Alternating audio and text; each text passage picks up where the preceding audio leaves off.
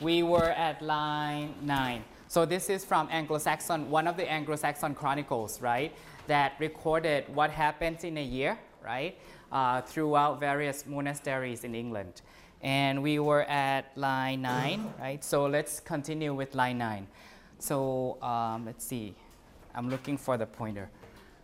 Um, line 9, so this is n, right? 7 is n, right? 7 is n because it looks like a t, right? et, et, is a uh, Latin word for at, right? So at, and then s-o-n-e is soon or at once, right? Soon or at once, right? So here we are, soon or at once. And then the, right? The chosen, this is chosen, right? Chosen is ch- chosen, chosen, right? C here is pronounced as CH, right? Uh, abbot, abbot is uh, a rank of priest, right? The chosen abbot, uh, Ferde is went, right? So went, seven here again is and, right?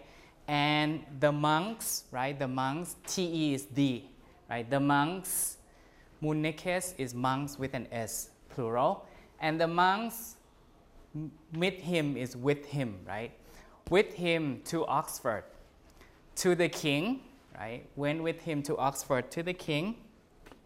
And seven is and, right? And he, next word is EF is gave, right? He gave him, he gave him that abbot and then riche, the state of being an abbot. Riche is like, um, like the word ship, friendship, uh, noun forming suffix, right? The state of being an abbot, the rank of abbot, like that.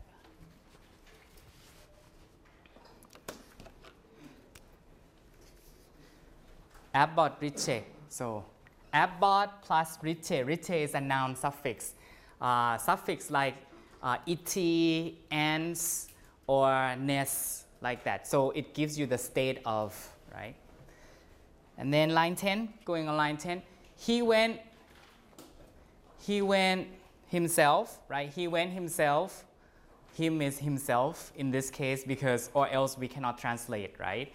Um, he went himself soon or at once to Lincoln, which is the name of the city, and was there, Bletchet, which is ordained, right? We saw that before. And ordained to abbot, ordained is to, to go into monkhood, to become a monk. To uh, ordained to abbot before, uh, air is before, before he home came, right? Before he came home.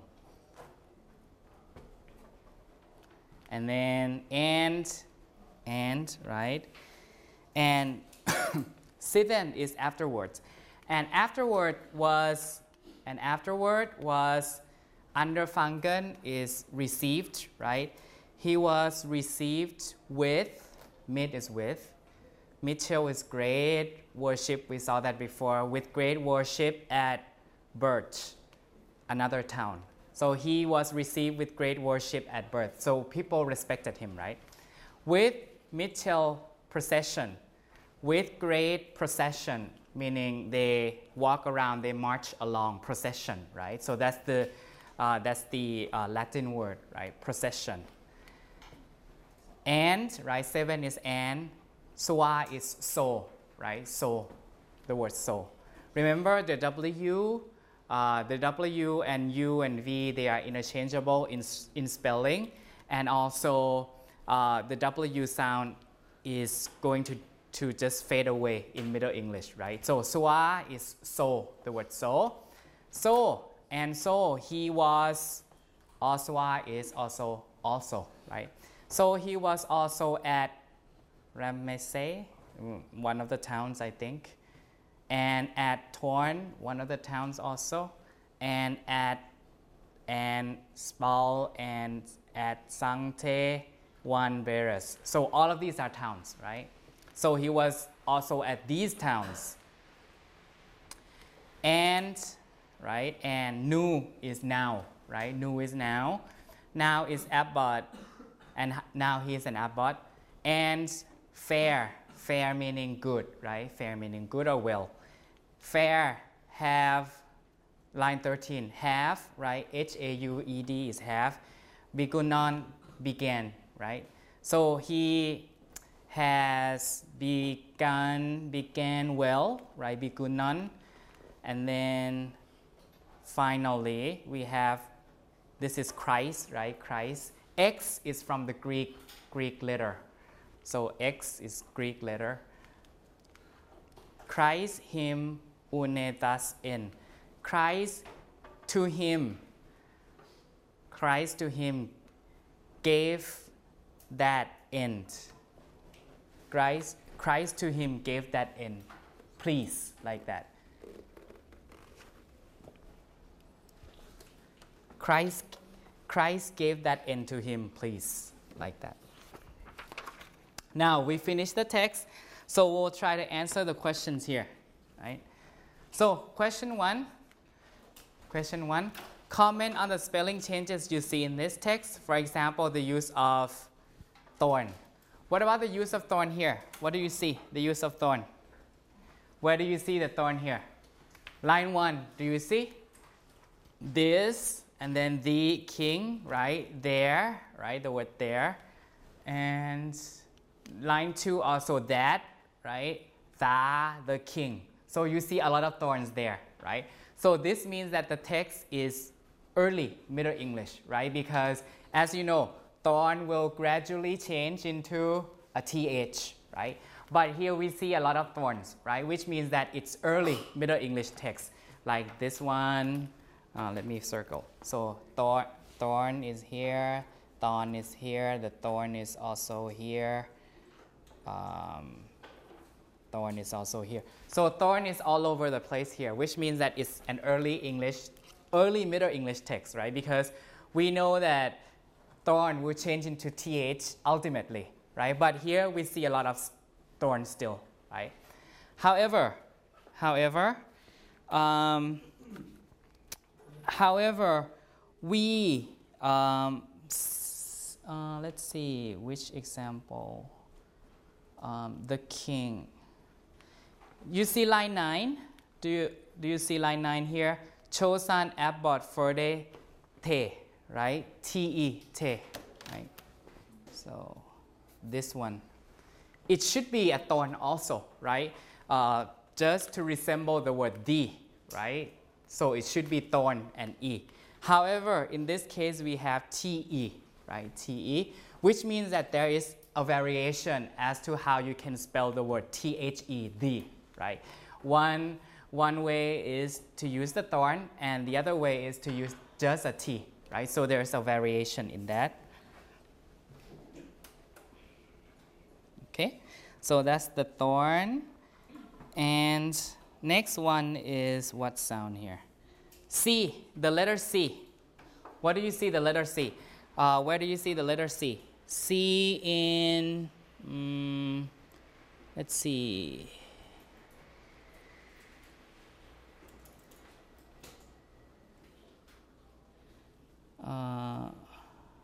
There is a word for king, but oh, not, line 8. You see the word for king, line 8. Love of the king. You see, it's K, right? K instead of a C. Because in Old English, it's a C, right? Old English is cyning like that. We saw that before, right? CY. However, now it has become a K already, right? It has become a K already. This is in line 8. However, in line 7, you see, in line 7, CU is not CH, right? It's not CH. It should be CH because we know that finally the T hook sound will become CH, but here chosen is just chosen, just here, right? Not CH yet. So it's not consistent, right? Meaning that this has not reached the last stage of change, right? So you see a mix of a mix of things, a mix of different ways to write to spell the same thing, right?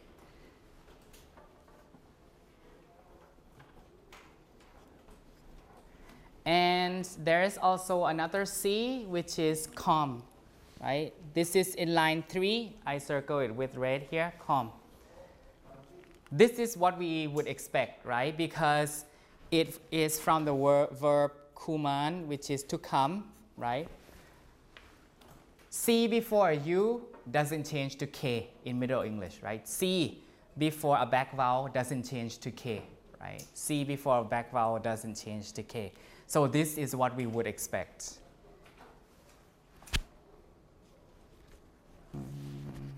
I think that's about it for letter C. Uh, what's the next letter? SC. SC should change to HS, right? SH, right? Number six, line six, it, it shows no change, right? SC should, the word should, S-H-O-U-L-D should, which is what we have nowadays. It should be in the final stage of change, it should be SH, right? But here it's SC still. So it means that, again, it's an early Middle English text, right? Because we don't see the, the final stage of change. Um, number line 8 also, uh, here the word church. Chiriken, it should be church, CH, right? It should be CH, the word church. Finally, it will be spelled C-H-U-R-C-H, which is what we have. But here it's still C, right?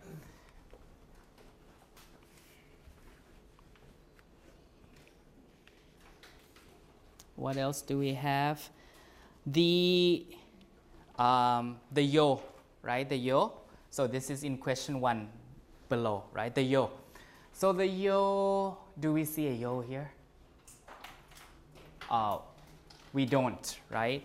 We don't, but yo used to be here. Uh, and then what else? The G. Do you see the G? Where's a word that have that has a G? Uh, let me see from here. Uh, what else do we have the G?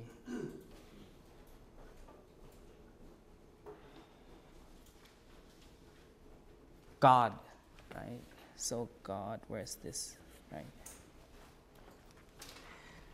So you don't see the yo, uh, you don't see the yo in here, right? Do you? You don't. So the yo, for example, here, uh, in Old English, it would be represented with a yo, right? Uh, the word year, it should be the yo. And then there's the word day, I remember. Line five, midwinter day, right? So it should be with the yo also in Old English. But now the yo has become either the G or, or just dropped, right? So line one, line five, the word day,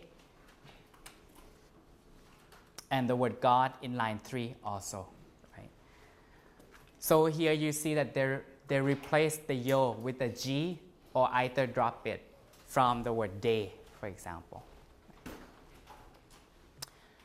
Uh, what else? The U and the V spelling, the U and the V spelling still, uh, there's no rule, right? Line 8, the word love, you have W, right? I mean two U's, W. There are two U's here in line 8. And then in line 13, the word half, the first one, the word half, you also have one U, right? So there's no, no rule, right? There's no rule uh, when to use W or just U, and there's no V in here, right? So because it's an early Middle English text. Um, next one, long vowels. Long vowels. Long vowels, we know that they would be represented in spelling with E at the end or with double, double vowel symbols, right? Um, here you see the word good, it's still good. It's not G O O D, right? So again, because it's a middle, uh, early Middle English text, so G O D E is not G O O D, right?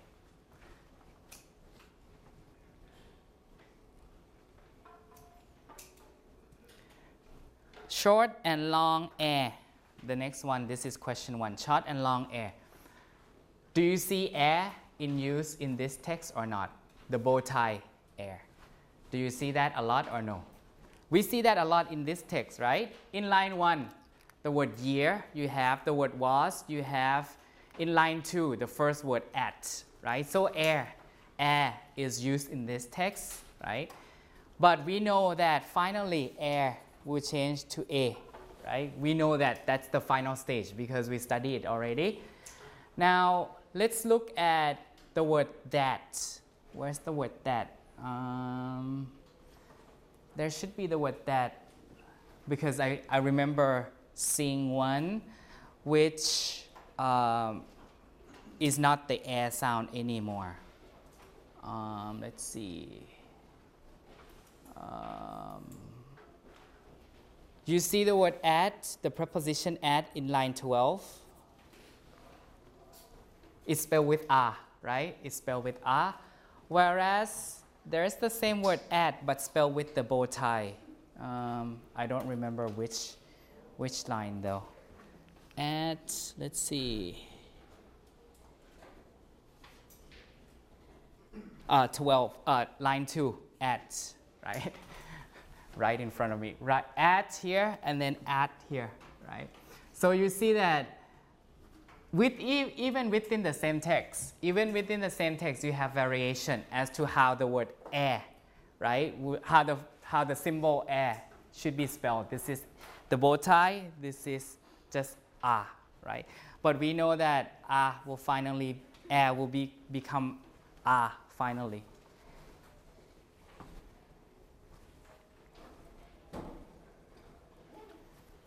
Um, let's see. And then long vowel u, right? Long vowel u should change to o, right? U should change to o in spelling. We know that because of the minims. however, however, um, let's see.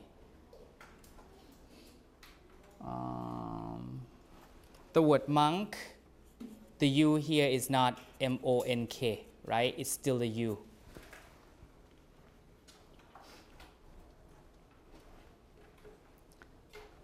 Again, because it's an early Middle English text. So I think at this point, what I can tell you is that depending on what um, period the text is from, you cannot expect a clean, uh, a clean evidence, a clean piece of evidence of all the changes that we study, right? All the changes that we study um, are the changes that ultimately that ultimately happens at the end of the Middle English period. Uh, so uh, this is a very early Middle English text. So you see even the same vowel is spelled like two ways or three different ways. So that's possible. So you cannot expect anything like clear cut uh, in Old English or Middle English text. Right? So these are the spelling. And then I think I have some other questions on the back, right? Um, comment on the use of articles in the prose text. What forms do you see? So what forms do you see in, in the article? Uh, in, the, in terms of the use of articles here?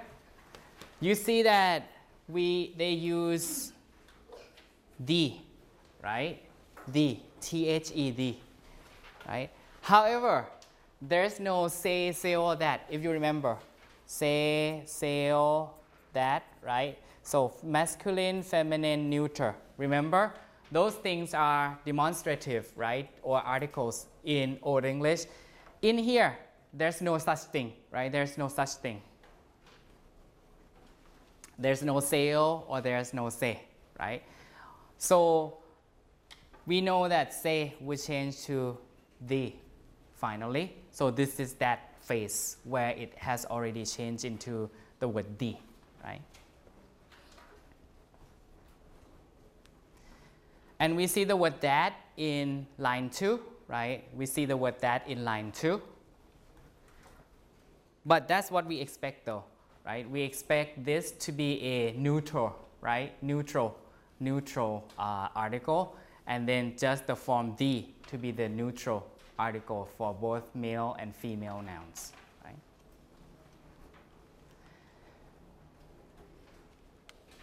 And the article is not consistent either, right? it's not like in modern English where you have to have an article if you have a countable noun. Because there are some countable nouns in here that, that uh, doesn't have, there's some, let's say, mm, there's a word for, like here in line 7, was there uh, blessed to Abbot? So it should be to the Abbot, to the state of Abbot, like that, right?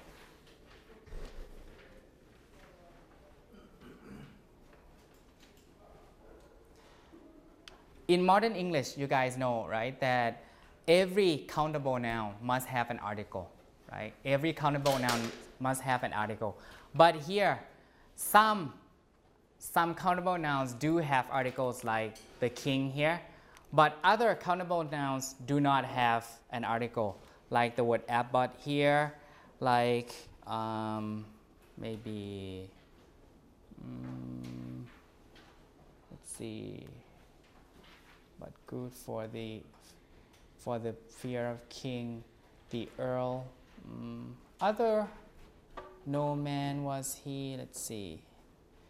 I think there's one more example that I spot, but uh, I don't remember what it is. Um, if there's one, I'll, I'll tell you. Um, let's see. Number three, show evidence of erosion of inflectional morphology. What does that mean? You know that full vowels become the schwa sound, right? Especially at the end of the word, which means that all the inflections will be spelled with an E at the end, sometimes with an N. You remember that, right? And you remember past tense of uh, verbs in Old English end with don. Remember that? So we can find uh, evidence that don is no longer don, but perhaps d, e, and n pronounced as a schwa, right? Or another example is the, um, let's see, the an ending. This is the infinitive ending of infinitive ending of verbs in Old English, remember? Old English verbs end, infinitives end with an, right? Old English infinitives end with an. So if we no longer see an, but it's, we know that it's an infinitive, then we know that there's erosion. There's the erosion of inflectional morphology. So let's find the evidence from the text. Mm, let's see. Here, this is number seven. It should be ON, but here we have EN, right? And what else? Mm, 11, Funken, right? It should be ON, it should be ON, and then 13, the word end. I'll use enden, it should be endan, an, infinitive, right? So seven, chusen, and then 13, en should be an because that should be an infinitive.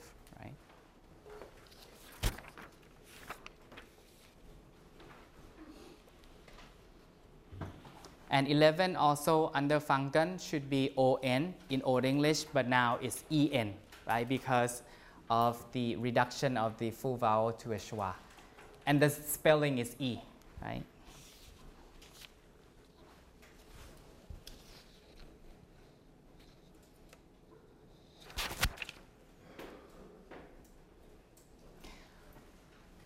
Next question is comment on the case markings and show specific evidence from the text. So case marking, it should be it should be at the end of a noun or an adjective, right? It should be at the end of a noun or an adjective. Now let's see. The word king has no has no marking because it's a nominative case. Nominative case doesn't have any ending, right? Nominative masculine in Old English. Um, let's see which one does have the ending. Um, can you help me find um, the word king that has, that has an E at the end? King, the word king that has an E at the end. Uh, where is it? Line 8. Oh, yes, of the king. You see, this one, it, it does have the E ending, right? It does have the E ending, whereas line 1, the king doesn't have. Because in Old English, in Old English, nominative doesn't have anything, right? Nominative masculine. But here is not the nominative case of the king is not the nominative case. So there's the remnant of E here, right? There's the remnant of E here.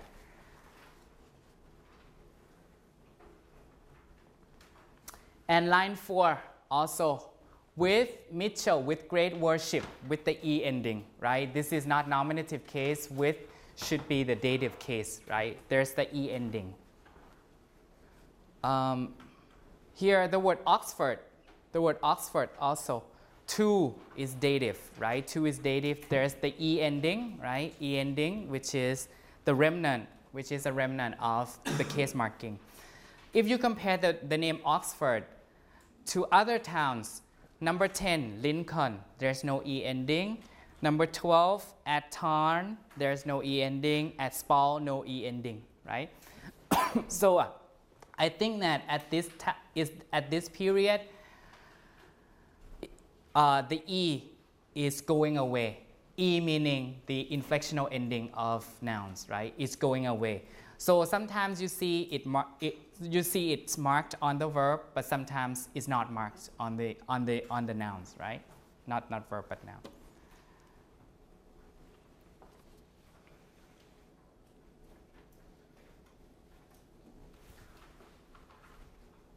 Let's see. What about pronouns? What about pronouns? Uh, that's question five. Comment on the use of pronouns in this text.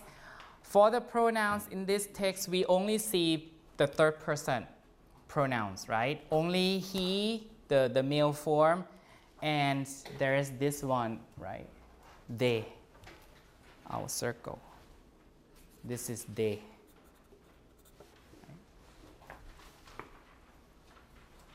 Line two, he here is they, right? We, we, we only see two forms in this text. The masculine, masculine uh, singular he, right? Masculine singular he, and also the, the line two, hi, which means they, right? They.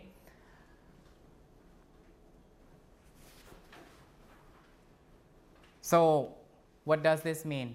It means that we know that the they form will be borrowed from Scandinavian. So we have the TH, right? T H E Y, T H E M, like that. However, here, HI, HI means that the TH form hasn't got here yet, right? The TH form hasn't got here yet. N- line 7, himself, I think that's also the pronoun, right? The self form, the self form. Himself, himself. But in line 10, he went him soon. You don't have the himself here? So it's not consistent. Meaning in line 7, you see himself, but in line 10, you have just him, right? So the self form is not as consistent as, as modern English, right? I cut myself, he went himself to this place, and so on.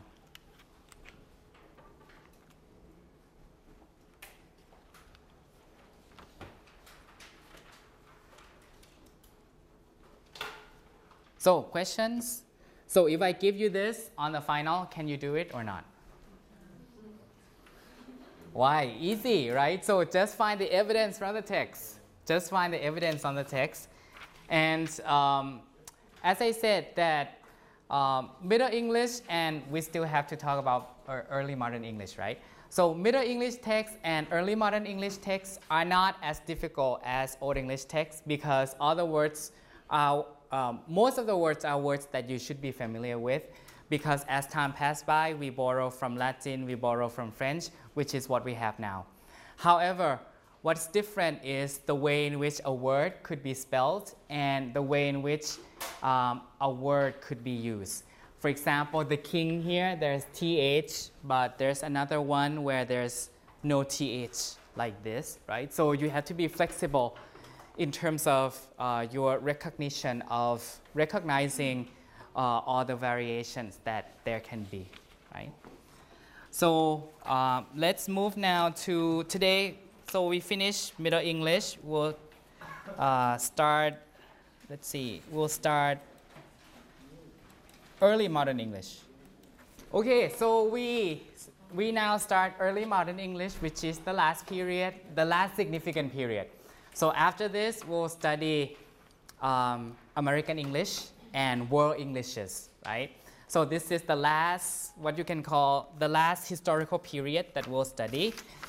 And again, there is no clear-cut point as to when early modern English started, right? There's no clear-cut point, just as there was no clear-cut point as to when Middle English started, right? Because people during those times will no long, will, will, will certainly not think of uh, one day or one historical event as the beginning of you know early modern English or Middle English, right? So there's no clear-cut date. However, there are some key dates and events that would lead to a lot of changes in the language. So let's see those uh, dates and historical events. So the first thing that um, there's one, there will be one question on the final here. Um, the first thing that affected, the first thing that affected the changes in the early modern English period was the printing press, right? So as you know, before, before this time, everything was carried out by hand, right? Meaning that when you want to copy a book, whatever it is, a Bible or uh, a piece of literature, how did you do it? You have to do it one by one, right? Hand, one person can do one book, for example.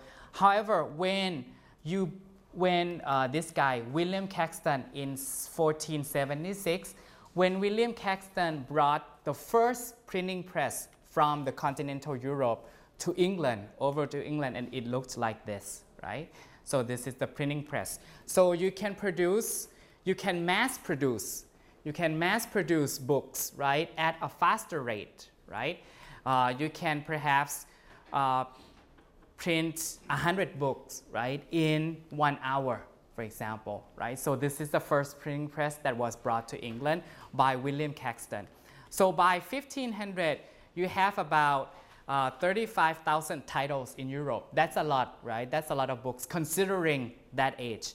And in 1640, uh, by 1640, you have 20,000 titles in English than um, in England, right? So that means that a lot of people had access to reading, right?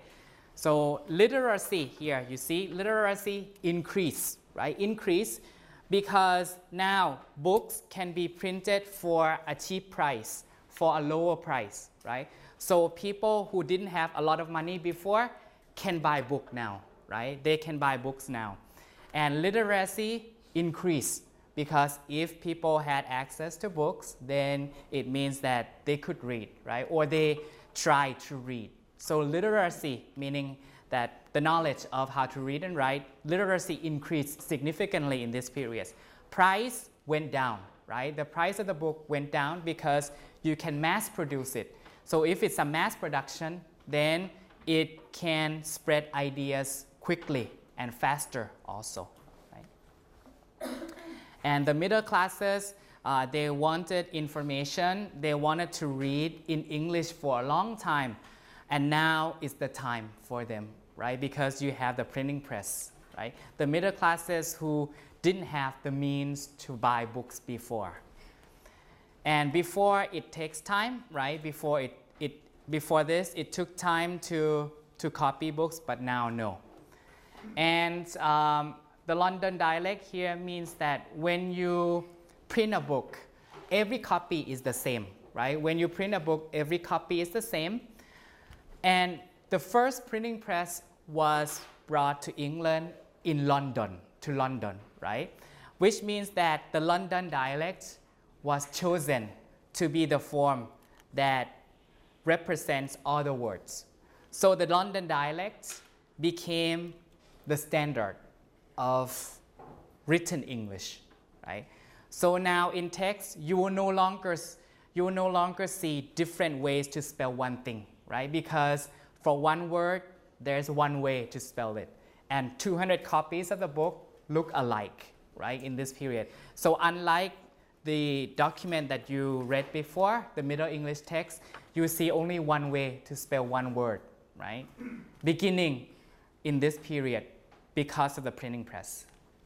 So thanks to William Caxton, the printing press got to England and then it made the printing of books easy, right? However, one thing that I have to say is that even though uh, you fix the spelling, so the printing press was responsible for fixing the spelling using the London dialect, right? Fix the spelling to be the same, right? And no changing. But language, as you know, keeps changing, right? Continuously. Uh, next week or maybe this week, we'll talk about one great sound change. So sound changes are going on, but the spelling is fixed at this point, which means that we spell things these days, right? We spell things, but not the things that people sp- spoke after that date. You understand what I'm saying? Which is the, f- the spelling is fixed, but the language, the pronunciation keep changing. So in a way, we are spelling the language that had not been spoken since that time. Okay? Because the, the pronunciation kept changing, whereas the spelling was kept the same, right? Because of the printing press, right? Now, the second, the second uh, movement, which we call the Renaissance, right? You know that Renaissance is a cultural movement, right? It's cultural, it's a cultural and philosophical movement. So people went back to Greek and Latin sources, right? Went back to Greek and Latin authors, right? To draw from, right? In terms of literature, in terms of scientific discoveries, in terms of rhetoric, right? In terms of grammar. So this is the period of humanistic studies, right? Humanistic, just in Munde, right? So we study anything human in this period, right? So we study poetry, literature, rhetoric, the art of uh, public speaking, the art of persuasion, like that, Aristotle, Plato, like that, or philosophy, uh, also in this period. That's the Renaissance. So there's the revival, revive, making it come back to life again of classical, classical meaning Greek and Latin learning. So there were translations of Greek and Latin authors like Plutarch, Plato, Virgil, Ovid, and other other guys, right? Other famous writers, philosophers. So we have a lot of influx of Latin and Greek, right, into English, uh, including very classical rhetoric. Rhetoric is the art of persuasion, the art of public speaking. So now English writers, English writers had access to classical rhetoric. So they, they can make arguments now. They can uh, achieve kind of flourished style that Greek writers or Roman writers used to have, right? So, and also we have a lot of loan words, right? Latin and Greek loan words here. And there's pressure to improve English because because once you, once you go back to English and Greek sources, you have to improve English so that it stands on the same level as Latin and Greek, right? So you have to borrow words, you have to uh, change the way you organize the paragraphs and so on, change the way you uh, compose poetry and so on, right? So this is this period. And another movement is rising nationalism, right? Oh, I think I must have skipped one. Yes. Protestant Reformation, which is also an Im- important move um, in the English culture. Uh, Henry VIII, Henry VIII broke away from the Catholic Church in Rome. You know that at that time, every church was governed by the main church in Rome, right? The Pope. So governed every, every church in Europe. So uh, King Henry VIII broke away from that government, right? Governed by the church in Rome because he wanted to divorce his current wife, right? Then current wife, and he wanted to remarry. It. But in Catholic, uh, in Catholic, you cannot do that, right? Divorce is not allowed in Catholicism. So, but he wanted to do it anyway. So what he did was he just broke away. So now there's no tie between the England church and he uh, crowned himself the church, the head of the Church of England. So there's no tie between English and the, uh, the church in Rome anymore. So this also coincided with Protestant Reformation at that time, right? Which means that uh, the church is no longer the authority in um, propagating religious thoughts, meaning that anyone should be able to read the Bible. Anyone, not only the monks, not only the priests, anyone should be able to read the Bible, right? Before this time, before the breakaway, before this time, translation of the Bible is illegal. You know that? Because it should be in Latin only, right? It should be in Latin only. Latin is the sacred language, right? The holy language. So anything that is translated is illegal until 1536, right? Of course, there would be people who violated that, but as we know, uh, when we study Middle English, remember Wycliffe's version of the Bible? That was illegal, though. Illegal, but people still translated the Bible illegally, right?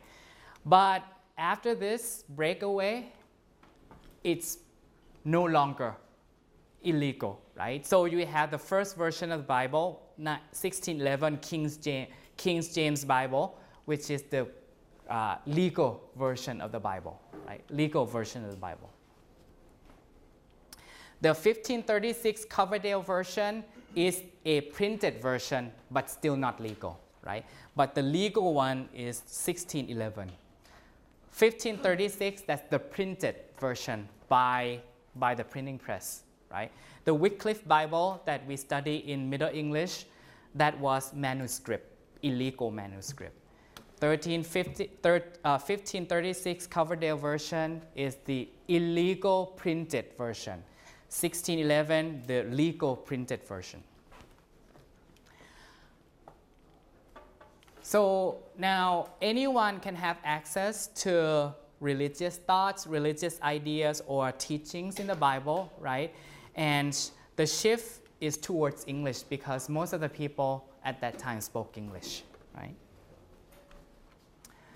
And um, also school here meaning that before learning, right, learning how to read and write uh, was done at the church, but now because anyone can have access to the Bible, anyone can learn and uh, write and learn uh, by themselves or by going to other types of school. And rising nationalism is also the uh, trend in that period. Uh, Elizabeth I was uh, the daughter of this guy, King Henry VIII, right? So she was the daughter, but uh, the Pope in Rome uh, didn't see her as the uh, rightful daughter to become the Queen of England because, of course, the, the Pope didn't allow the divorce, right? But Henry VIII went ahead and got the divorce anyway, so he gave birth to um, Elizabeth I. So Pope in Rome didn't uh, approve that, so they excommunicated her.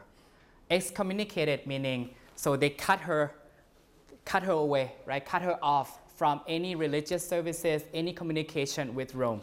So when that happens, uh, there's rising nationalism, meaning that we no longer have to be under the government of Rome anymore, like that, right? So with that came the national pride in the English language, and there's the desire for national literature. She uh, was on the throne for a long, long time, and as you know, she supported all kinds of literature, right? Shakespeare, Marlowe, uh, all of those Renaissance writers, all of those Renaissance poets were under the support of this uh, queen, right? So this gave rise to a lot of literature in English, right? And um, she supported a lot of poets, a lot of writers, right? But Latin still used in the Catholic Church right, at this time. So in Middle English, you had French, right? In Middle English, they had French, but in modern English, early modern English, you have the growing of nationalism in terms of the English language and literature, and also you have uh, Catholic, uh, you, you have Latin coming into English, right? Because of the Renaissance movement. And this is towards the end of the early modern English period. We have exploration and colonization. You, you know a lot about this, right? So before, before the 16th century, uh, England had only one overseas possession. It, it lost that uh, ultimately. However, uh, 30 years after that, and by 1700, England had colonies around the world, right? Including Bermuda, including uh, British Virgin Islands, including the American colonies, including uh, Australia, New Zealand, and Malaysia, right? So all over the world by 1700. What does this mean to English? So English spread around the globe, right? And English also got a lot of loan words from those languages, right? From those languages that we were in contact with, like uh, Native American and uh, Australian people, Native Australian people, and so on. So we can talk about that when we talk about Englishes around the world, different types of English.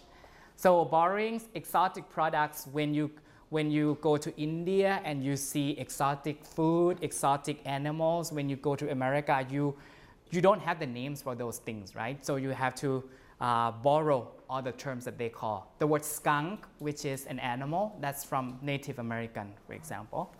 And English was in contact with other languages, Indo-European languages, sometimes indigenous like Australian, native Australian languages or Native American languages and spread of English. We talked about that as England had colonies around the world, right? In India, in Australia, and everywhere. And the last one, the last historical movement that I will mention is in industrial revolution, right? Late 18th century, uh, pioneered by James Watt, right? Steam engine. He made it work better, right? So because of that, there were factory workers, right? Factory workers coming into London, right? Because they have to work in factories, right? And they had to stay together, right? So there's urbanization. You guys know the word urbanization in so urbanization, let's see. Um, urbanization. So urbanization. So London has become an urban, right? Meaning that it's um, a city where a lot of immigrants, hmm? a city where a lot of immigrants move into, and it has become a major city now, uh, accommodating accommodating people who uh, who spoke different dialects, right? Who spoke different dialects.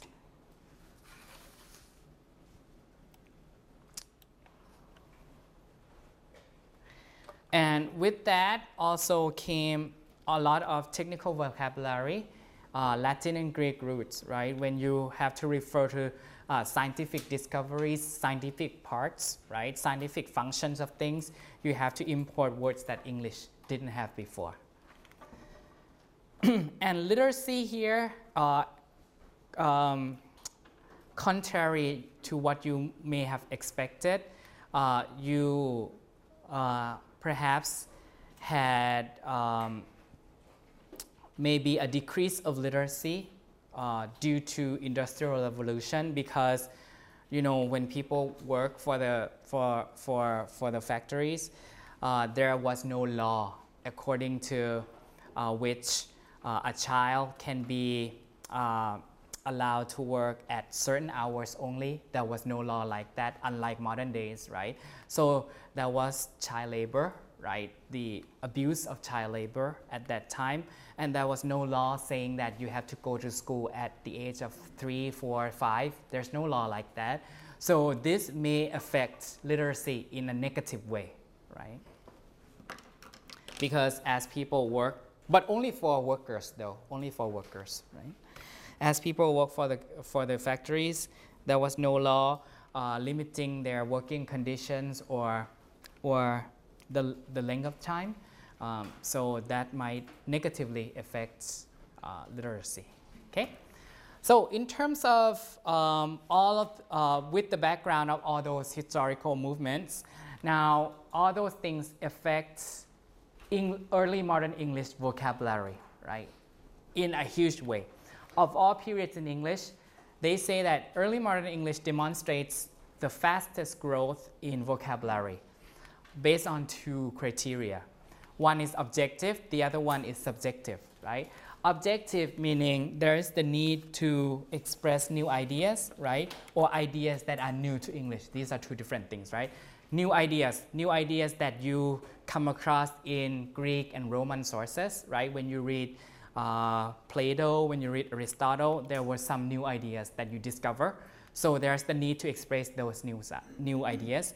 And there's also the need to express ideas that are new to English when you go abroad, right? When you have colonies around the world, then you come across different things, right? Different animals, different ways of uh, governing the people, different ways of law, conducting the law. So here, these are ideas that are new to English, right?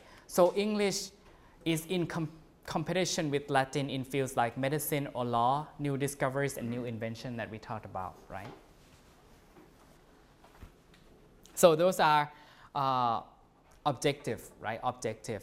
Also, there's the subjective need to borrow a lot of words from Latin and Greek. Subjective meaning depending on an individual, right? Depending on an individual.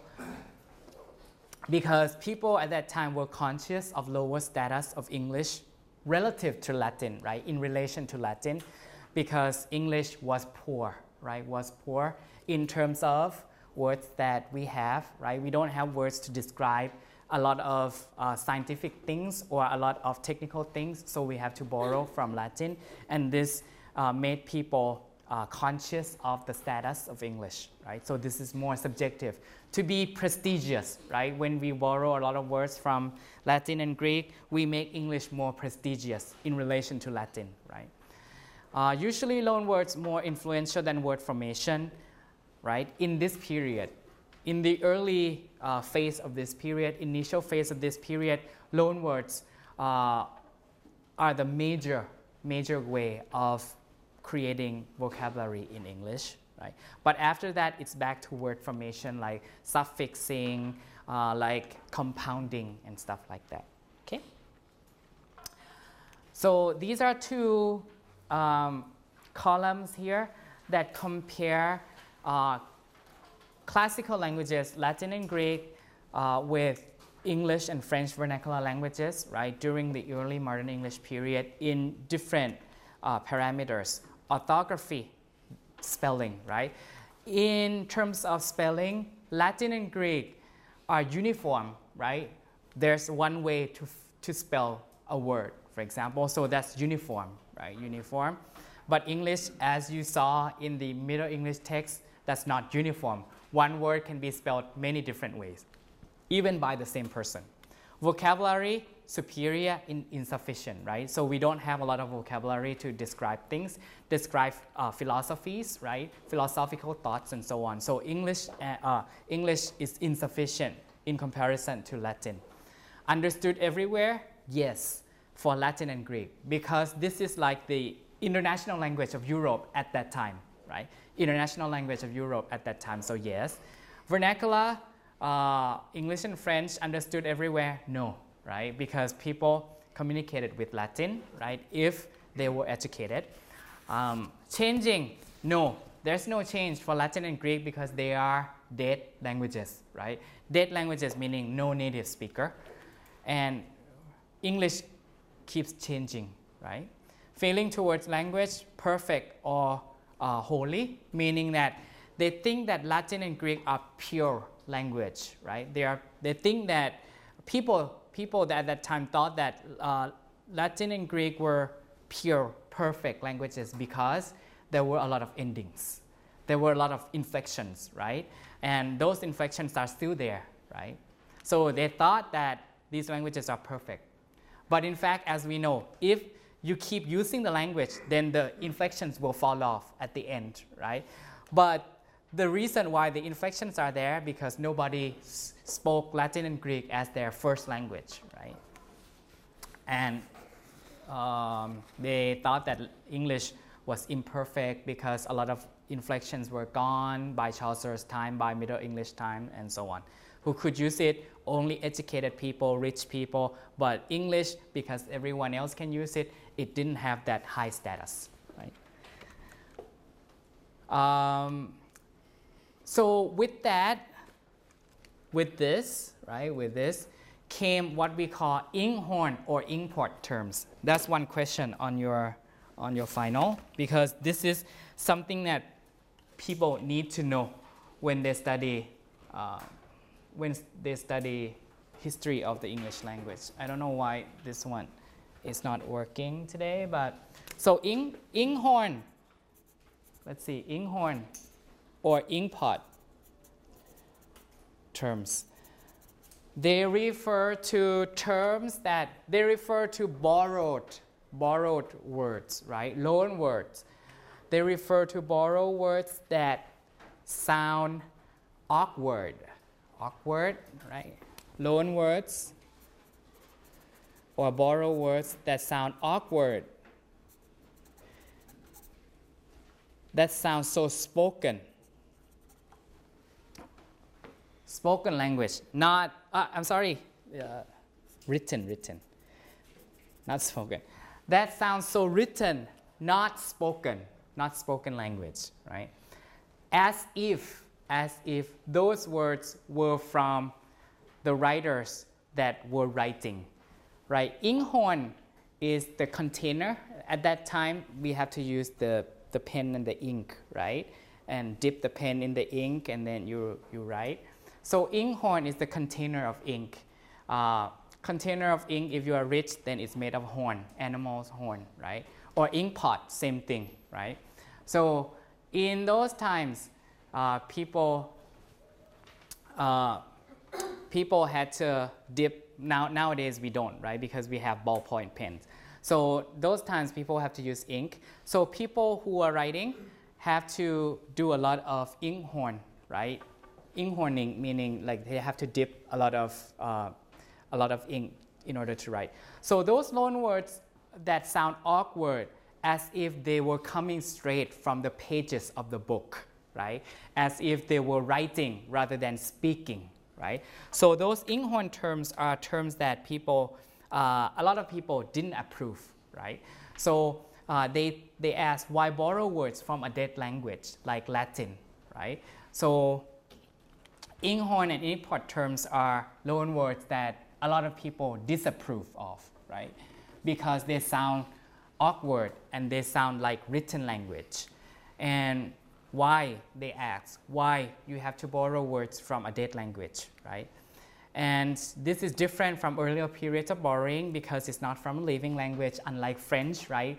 You have that uh, borrowing because a lot of high class people were French, right? So that's living language. And number of borrowings were like the number of borrowings here is a lot, right? Conscious and done by individuals. This is more conscious than earlier period, right? And natural science, especially in scientific or in philosophical areas, right? And the borrowers are scholars, right? And show off scholars, Scho- people who want to look like they are educated, right? So, so this criticism comes under the name of inkhorn or inkpot controversy, right? And inkhorn or inkpot terms adapted to English. So all of these are Latin and Greek, right, on your left hand side. And on your right hand side, also from Latin and Greek. However, on the left side, those are the words or endings, uh, affixes that are lost. But on your right hand side, these are the endings or the affixes that we have adopted. Brevitas, right? Tas in Latin uh, became iti in English. So we use iti a lot, right? Activity and uh, many, many iti nouns, right? Uh, externus, nas becomes all, right? Us becomes all in English. Ephemeros, rose becomes all, ephemeral in English. Undula, undulate. La becomes late. Ventriloquus becomes ventriloquist, like that. So these are uh, remnants of Latin borrowings, right? However, on the left hand side, they were lost.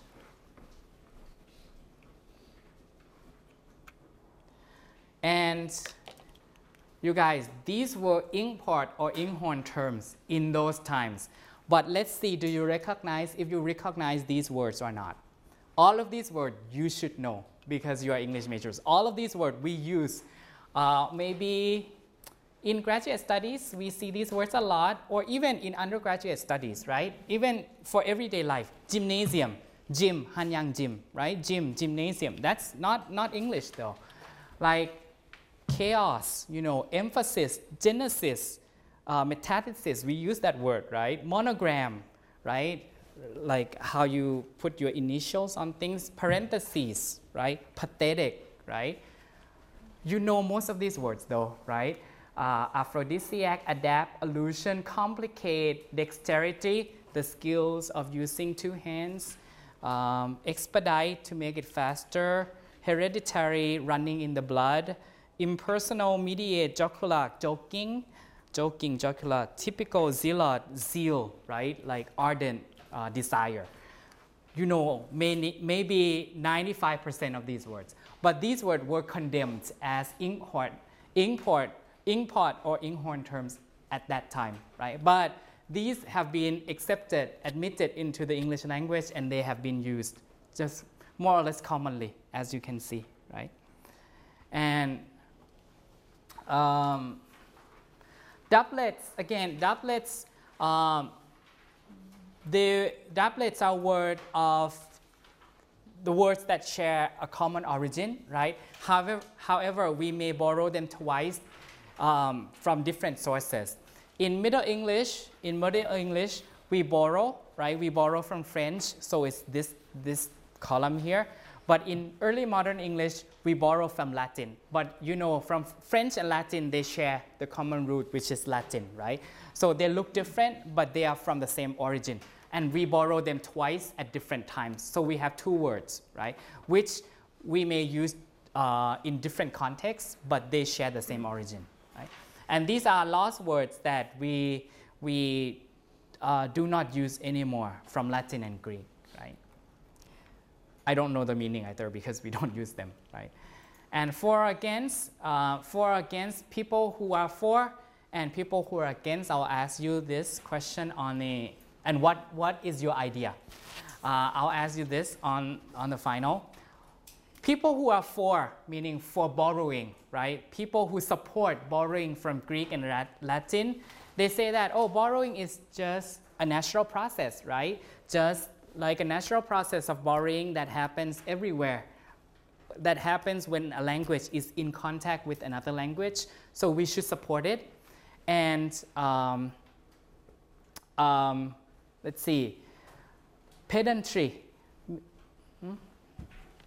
let's see. Why the alignment is off here? Ah the alignment is, is always off um, okay, so for natural process, against purity of language, right? Because I use a Mac, a, a Mac uh, version of the Microsoft Word at home, so it's everything is out of alignment here.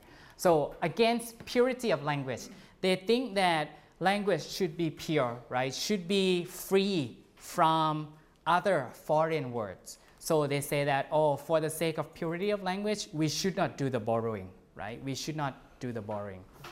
Now, pedantry should be in this column. Pedantry should be against, right? For, for those who are against, they think that it's pedantry, meaning that it sounds too pompous, you know, P O M P O U S, pompous, meaning it sounds arrogant. It sounds like you want to show off, right? Pedantry, hard to understand, and it sounds like you want to show off when you use a lot of borrowed terms. Just imagine if you speak uh, English one word and then the next word is Korean and then you switch to English. People would think that, oh, you try to be um, cool, right? People would think that you are trying to be, you try to be uh, educated, right? So, so the against is pedantry, meaning that uh, it's hard to understand and you sound like you want to show off your knowledge, right? But the four people would think newness will dissipate, meaning, oh, the newness, the pedantry of it will go away as we accept, as we admit them, and as we use them a lot, right? The newness will go away, right? And the newness went away for all of these words, right? That, that, that you guys know already. These are not new words anymore, right? The, the words that we looked at before. These are inkpot or Inkhorn terms at, at that time, but the newness has gone away, right? For, for us, at least, right? And finally, uh, obscurity for against. Obscurity for against, uh, meaning that people think that uh, terms that are hard to understand, inkpot or Inkhorn terms are hard to understand. So the meaning is obscure, right? The meaning is vague, is obscure, not clear. However, the four people, the four people say that words are understood in context. So there's no such thing as obscurity. So if you understand, as long as you understand the context, then words can, be understood like that. Okay? So there are two, two sides, right? Two sides arguing with each other. And this is an example. This is an example. They condemned a, a group of people, not, not a lot of, not, not everyone, right? Because there's the for people, there's the against people. This is an example that they condemned. Like if you use the language this way, the meaning will be obscure, the meaning will be vague, uh, and uh, it sounds like you want to show off your knowledge of the language and so on. So, do you think this obscures the meaning or not? Do you think that this sounds like you want to show off or not? Pondering, you guys know pondering, right? Pondering, thinking, expanding, and revoluting with myself your ingent affability and ingenious capacity for mundane affairs. Do you think that's uh, uh, obscure or not? The meaning is vague or not obscure, vague. I cannot but celebrate and extol, same thing, uh, your magnifico dexterity above all other, for how you can have adapted such illustrate prerogative. We use this word, right? Prerogative, privilege, and dominical superiority if the fecundity of your ingeny had not been so fertile and wonderfully pregnant. So, do you think this is obscure or not? So, that's your opinion.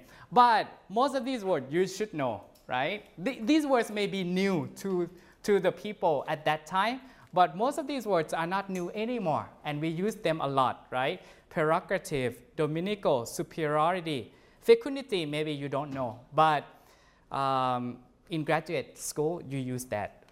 Um, but all of these words you know, right? Affability, this sociability of people, like that, ingenious, genius, capacity, mundane, boring stuff, same, same shit, different days, like that.